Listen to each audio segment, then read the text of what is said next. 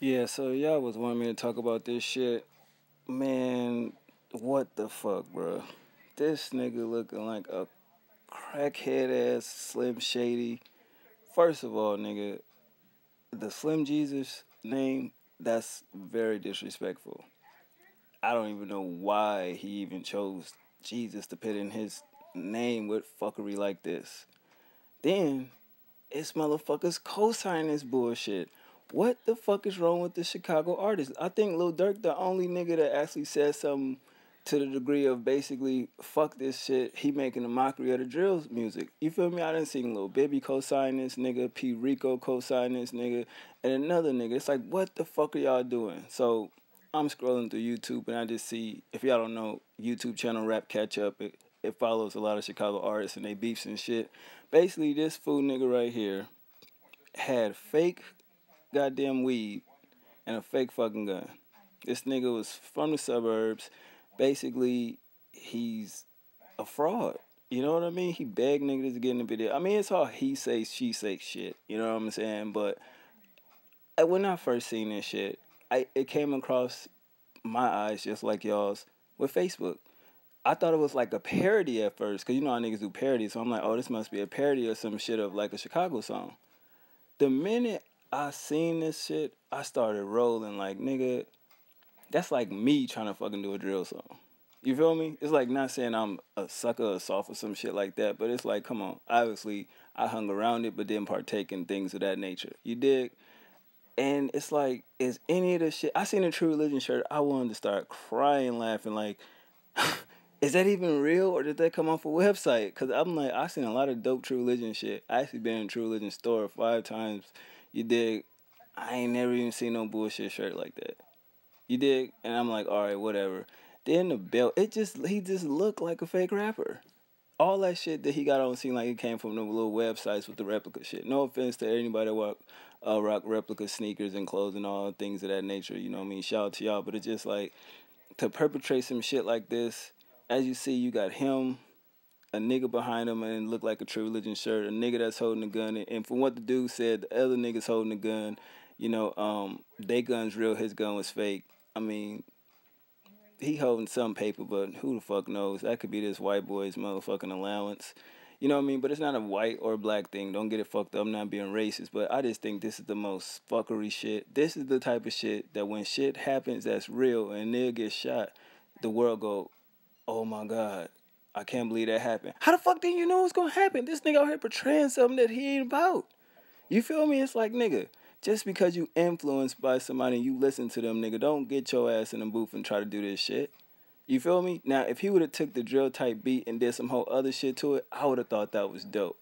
You know what I mean? Like if you rapping about some motherfucking, I don't know, what do kids from the suburbs talk about? You know, uh, cars or, you know, school or some dumb shit. Like just make it a parody. If he was doing some parody shit, fine. That was funny, it was cool. But if you gonna get on some drill shit, it's like nigga, you're not even a nigga. It's a white nigga. Like you get what I'm saying. But I don't know what to think about this shit. Somebody asked me that, like you should talk about it. What's to talk about? It's like you can look at him and tell. You can look at him and tell this nigga is not about that shit. It look he look frail as fuck. Like look he look dappered up. You feel me? And it's like, come on, my nigga. Real street niggas is not all, you know, it's a time and place for all that fly finesse type shit fresh hairline and shit like that. We see niggas with their dress looking crazy and all type of shit. When you really, really starting out in the streets and you know what I mean? But that fly shit comes eventually. You know what I mean? A real nigga know you gotta stay looking, you know, same clothes for weeks, stacking that paper, doing what you do. It's a time and place, like I said, to get flying fresh. But this nigga out the gate on some true religion shit, some Gucci, this and that. Uh, come on, my nigga. Like, uh, the thing that always got me if you paying nine hundred dollars for a belt, why you still selling drugs? Why are you in the hood? Obviously, you can afford a good motherfucking apartment somewhere. You feel me? It's just the concept alone. You dig? Bullets cost money, my nigga. Guns cost money. Not that much because you get them in the streets, but I'm just looking at it as if you looking at it as a grown up. I just take this shit as a joke. It's funny. I seen a video once. I didn't take it serious, but it's just like my nigga, don't make a mockery of something you know nothing about. You know what I'm saying? You fucking listening to goddamn Igloo Azalea and shit and think, oh, she's white, she make pop rap music, I'm gonna get into the drill shit. Of all the shit to get into, you gonna do the like drill shit. Man, get the fuck out of here, bro. Take your ass back to the library and do some motherfucking studying, nigga. Get your education, get a good job, and get on with your motherfucking life. This shit right here, it it ain't for you, my nigga. Slim Jesus, you need to get that shit up. I'm not saying that he ain't did what he say he doing, but it's just like, ah, come on, my nigga.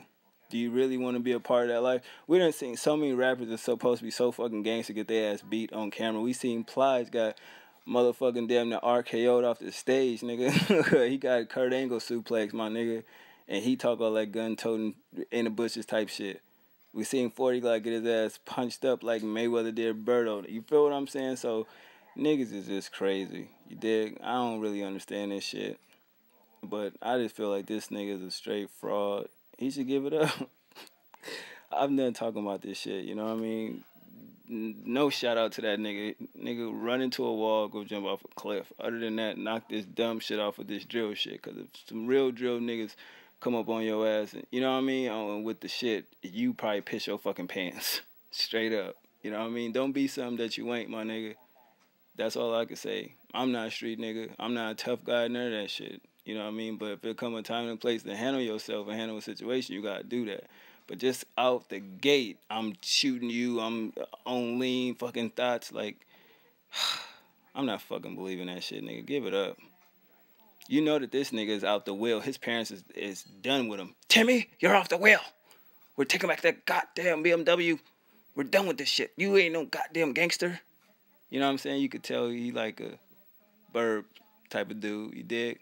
If he would have came in the game on some Mac Miller shit, that shit would have been cool. Some Macklemore shit or whatever. But nigga, you out the gate sound like a knockoff Chief Keef. Get the fuck out of here.